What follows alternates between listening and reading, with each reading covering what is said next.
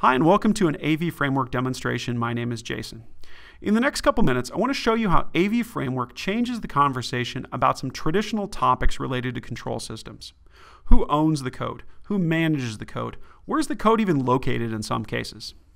Let's start by logging into our AV Framework interface.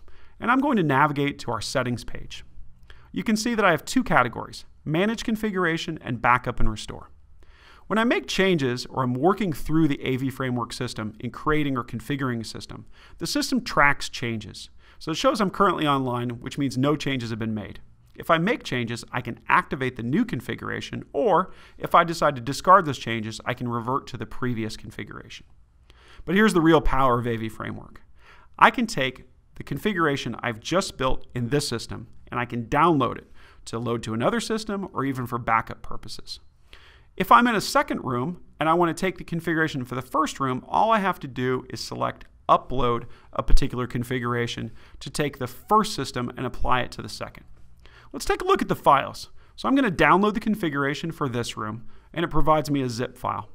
The zip file consists of standard XML files where the data is stored. So now I have an easier way to move this data from system to system as well as more reliable backup system as well. I can also choose to upload a configuration. So maybe I have standard room types in my facility. I'll select upload, find the particular zip file that represents the standard that I have, and the system can then apply that configuration to this room, and now I've effectively copied and pasted from one room to another in the matter of a few seconds in moving a zip file with config files from one to the other. Let's take it one step further. The files in question are easily located on your control system.